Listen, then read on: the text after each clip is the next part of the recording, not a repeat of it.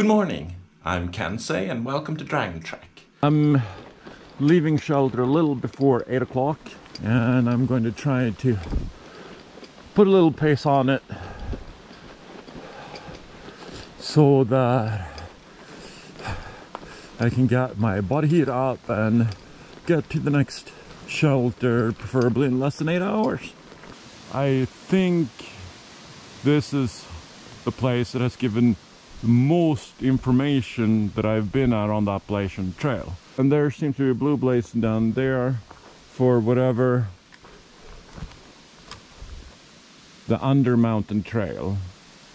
Okay, that sounds like some, something dwarves would do in a Tolkien novel, but okay.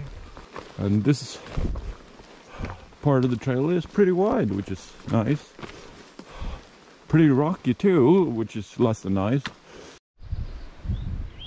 views. I'm getting towards the summit of Bear Mountain. Uh, I heard it was pretty steep, but that was from a SOBO, so it might be going down on the other side that is steep.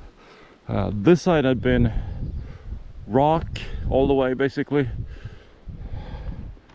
and there's still rock in that direction, but it hasn't felt steep. The summit of Bear Mountain keeps eluding me. I thought we've gotten there already. And the trees hide how tall the mountain truly is. When it's exposed rock like this, big rocks, it's usually pretty smooth. But when it's broken up like that small rocks here and there that's usually more uncomfortable. Oh you're going the same way. Okay. Come on Nixie. Let's check, let's check this here out. Have a nice day. Okay so we uh reach the top. Wow okay. Quite the stack of rocks.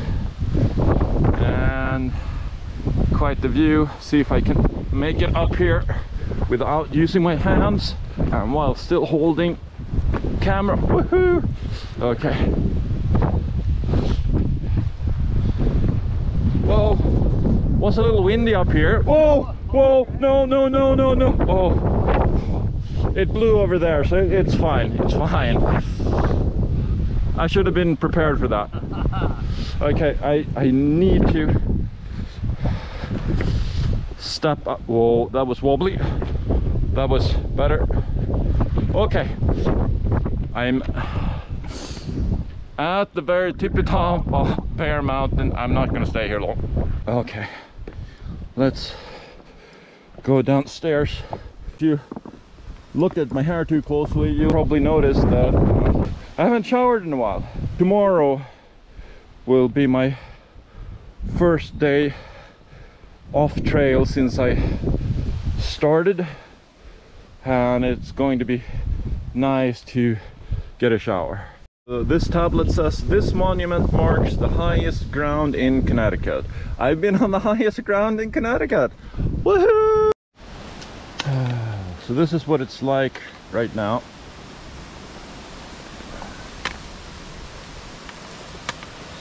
So far it doesn't feel steep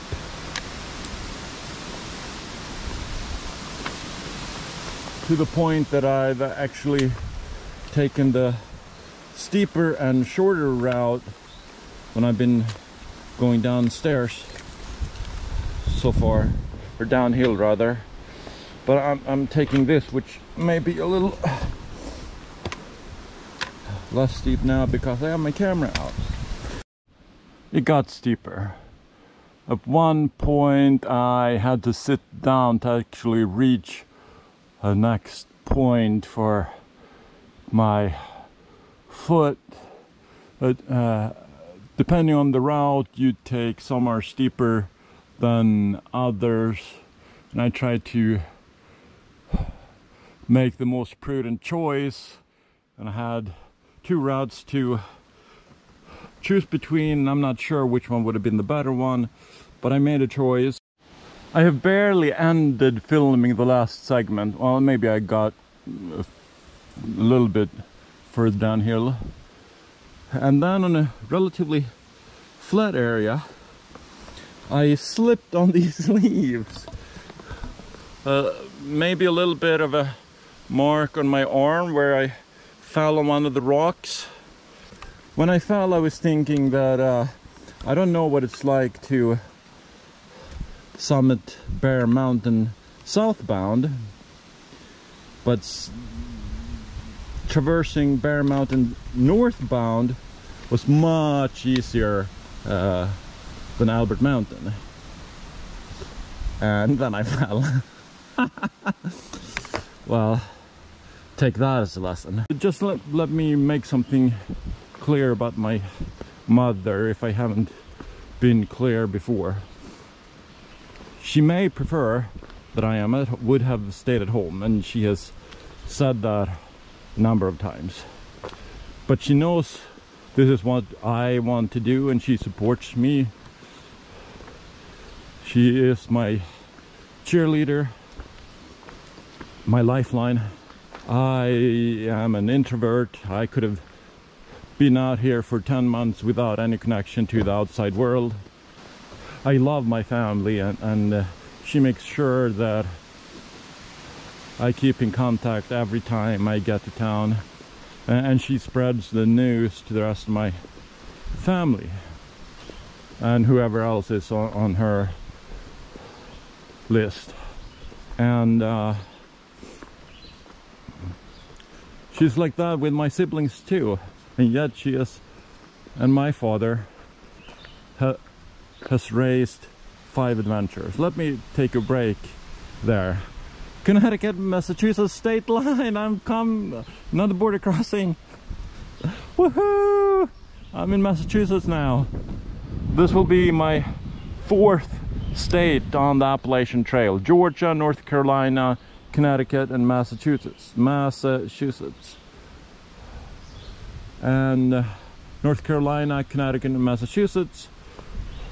This was the first time I've been in any of those three states. Of course, I, I traveled from New York to Connecticut to get to the trail in Connecticut, so count that however you like. And this is my second border crossing as I skipped all the distance between North Carolina and Connecticut. I'm going back to do that later. Okay, now back to my family. So, my mother prefers that we stay at home, me and my four siblings. Yet she raised us to be adventurers. He and my dad raised us to be adventurers. And though my siblings usually go on more adventures than I do, mine are usually longer. I lived in the United Kingdom for two years now I'm hiking the Appalachian Trail and that'll take me 10 months. so, so uh, I, I think that is interesting. My, my uh, siblings go on more adventures than I do. I, am like the I'm the guy that sits at home and, and like to work at my computer. My interests are at my computer sedentary in every way. Uh, my siblings have done things like being an au pair in Italy, an exchange student in the US. They've competed in various kind of running, bicycling and swimming competitions, even swimming in cold water outdoors things I would never dream of doing uh, and I appreciate them and look up to them a lot. And then there's me and I have my crazy ideas that take me away from home for long stretches of time but not as frequently as my siblings go on their adventures. Of course, my sisters now are parents, so uh, their adventures are different than they used to be. My brother, who is one of the smartest people I know, one of the bravest, bravest people I know, he continues on doing his adventures most often in pursuit of the next bird he hasn't seen. Traveling across Sweden just to be able to see whatever bird he hasn't seen yet photograph them. But he is much fitter than I am has always been much fitter than I am. Uh, okay so what is this says Sages Ravine you are entering a very fragile environment. Help the this area recover from overuse and abuse stay on trails and camp at designated sites only. Paradise Lane Trail and this direction, Paradise Lane Group Campsite 1.5 mile, Under Mountain Trail and Route 41 parking. Okay, I'm not going there. I'm going in this direction. Down the Appalachian Trail. Woohoo! There is a, a term on the trail uh, called PUDS, P-U-D-S, which stands for pointless ups and downs one PUD, several PUDs. And this feels like one of those. Whoa! That looks so cool. With water almost going through a cave system or something. The cliffs just hanging over the surface of the water. Oh. Whoa. That looks nice indeed. Dark and mysterious.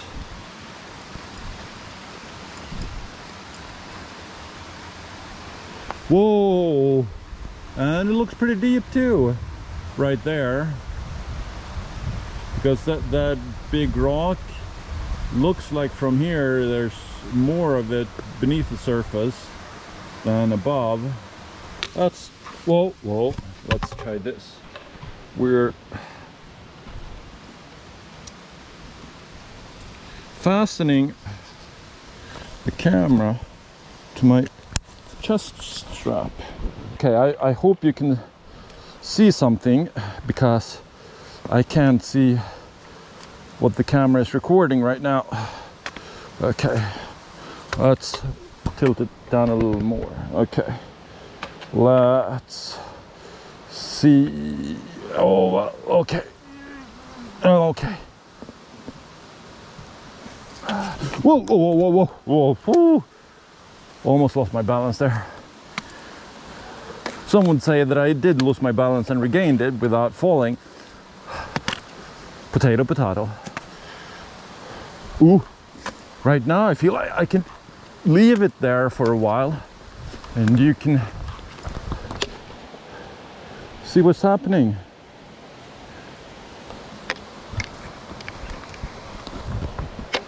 Okay. Uh, fun, fun, fun.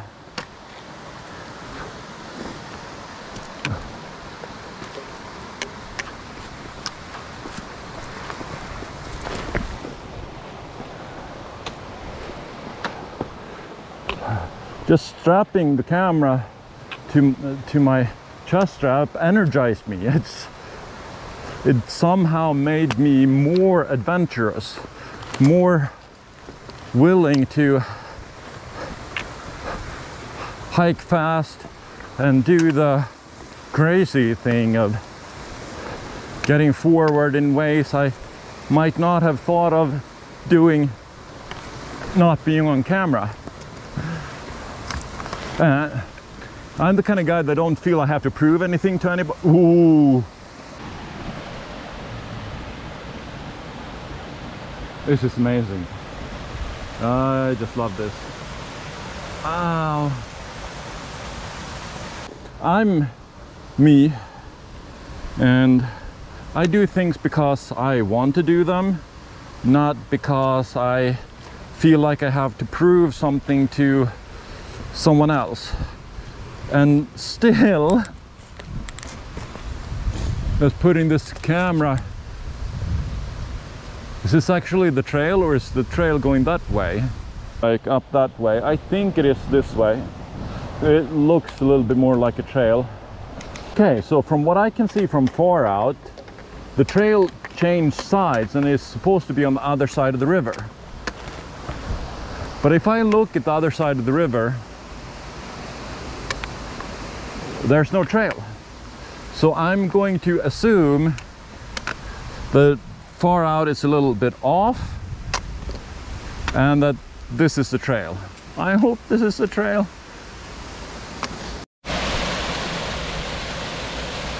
This is so cool. I mean, so cool. And more there. And this is the way I'm heading. I don't see any white places. I don't even see a trail on that side.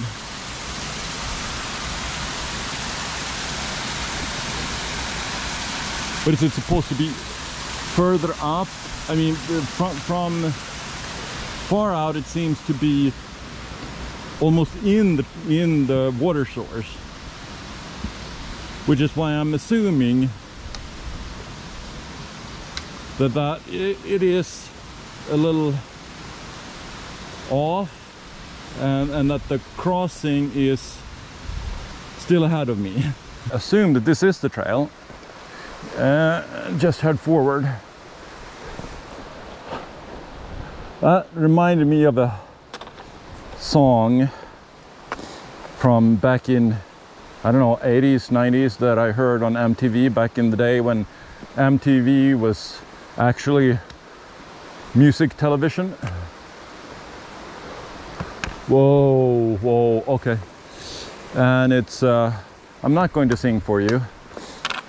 Uh, but the lyrics was Star trekking across the universe on the Starship Enterprise under Captain Kirk Star trekking across the universe. We're only going forward for we can't find reverse uh, okay I haven't thought of that song in decades. Woohoo! There's a blaze there's a blaze there's a blaze. That is awesome. Thank God for that apparently we're going back and forth between Massachusetts and Connecticut. So I'm crossing from Connecticut back into uh, Massachusetts. And over there that's where I need to cross the river and apparently go up there. So uh, we have that to look forward to.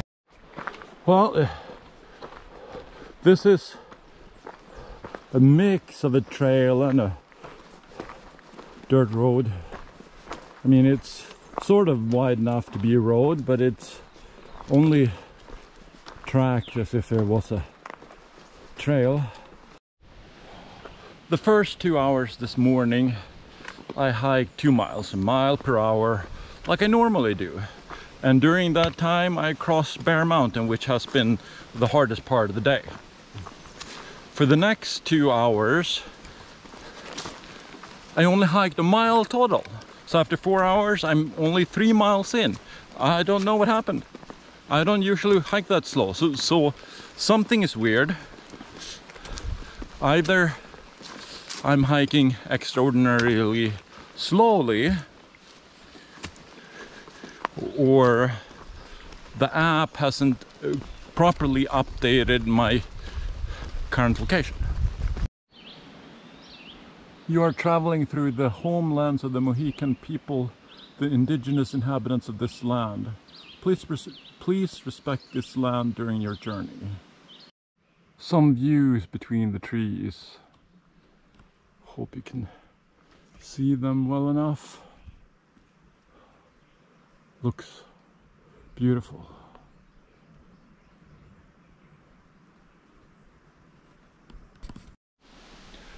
I had pain on the upper side of both my feet as if my shoelaces were tied too tight. So I tied them more loosely and the pain uh, disappeared in my right foot, but I still have pain in my left foot. Uh, it's not the kind of pain I've had in my feet that I've told you about earlier or before. That pain is in the bottom of my feet and I have that feeling because I've walked too far or too long. But this feels like it's something different and it's in a, it's in a different place. I don't know what it is and I hope I will be able to find out soon. This seems to be pretty much the same views as from Bear Mountain. Ooh, I wonder what kind of bird that is. Anyone knows? Please let me know in the comments.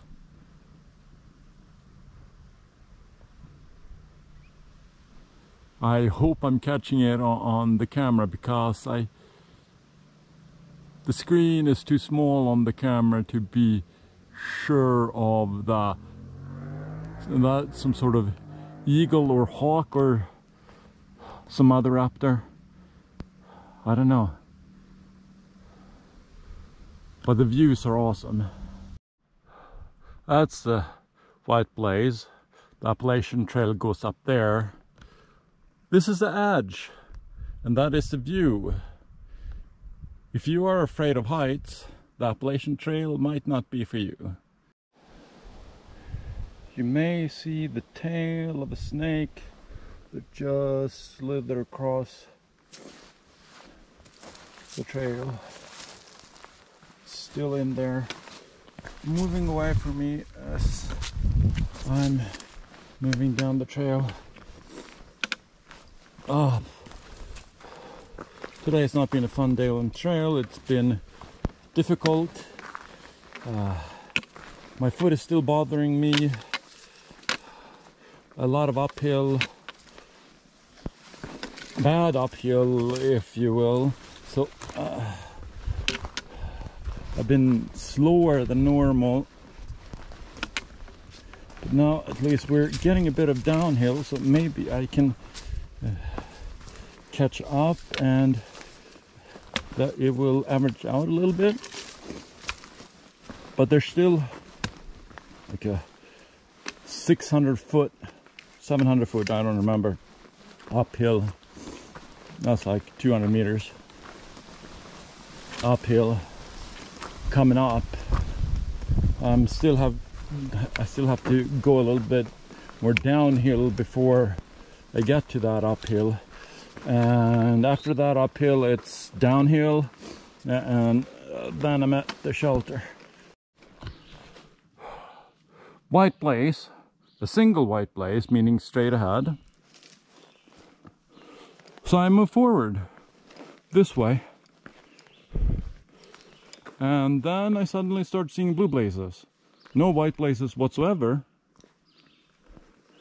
And when I check FarOut, I'm off trail when I uh, head back and start looking around a little bit, I see that white blaze. Please get better at showing where we're supposed to go. Some blazes are too far apart. Some blazes are not clear enough to let us know in what direction we're supposed to go. Please get better. Summiting Mount Everett was not fun and I'm not done.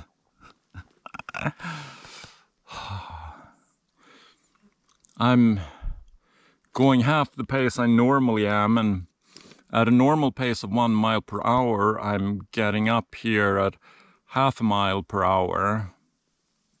It's insanely slow. It's insanely hard. I'm uh, I estimated that today would take approximately eight hours. It's looking like it's going to take 12. uh, yeah. Not my best day. I think I will have enough water to get me to shelter. this is not my finest hour. Well, depends, I guess. With, with all the effort I've put in, not giving up, not giving in, maybe it is my finest hour. These trees are not very tall. And I'm tired, exhausted. More than 10 hours of hiking today. So if it doesn't bump into me, it bumps into my backpack. I have to bend and redirect and try to go beyond the reach of these little trees that try to stretch their arms out over the trail and it's getting narrower over there but it also seems like the vegetation changes so I hope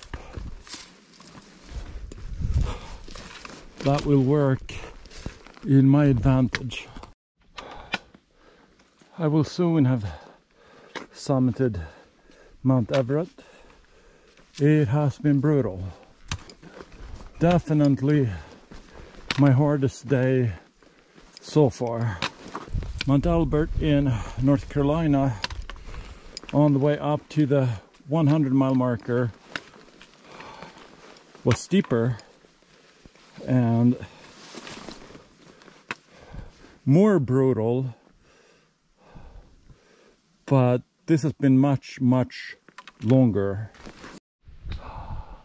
Mount Everett summit elevation 2,602 feet. Please stay on trail to protect fragile vegetation. Couple of cans. Wait, the AT this way and that. Okay, the AT this way. Me, uh, yes, okay. Those signs were a little out of sync so so uh, not pointing in exactly the proper direction but at least I'm finally here the oh and as I said earlier that wasn't the summit. This is the summit. And it should be about a mile down to camp and I there's been a lot of people that have passed me by and I hope there's still room in the shelter. I do not want to pitch my tent tonight. Let's hope this will be faster and smoother. It's been an 11 hour day. Not the first day that has been that long for me but the first day when I expected an eight hour day that turned out to be this long and I'm not there yet. They have planks. That's nice after a day like today. And here they apparently call the shelters lean-tos and the Hemlock's lean-to is 0.4 miles away and that's where I'm spending my night. In addition to, to the foot pain I've had in my left foot most of the day, I now have the standard bottom of my feet pain that I sometimes get when I've hiked too far. Hi, this is Editing Kansei. Unfortunately, I forgot to shoot an ending uh, of uh, today's hike. So keep on checking.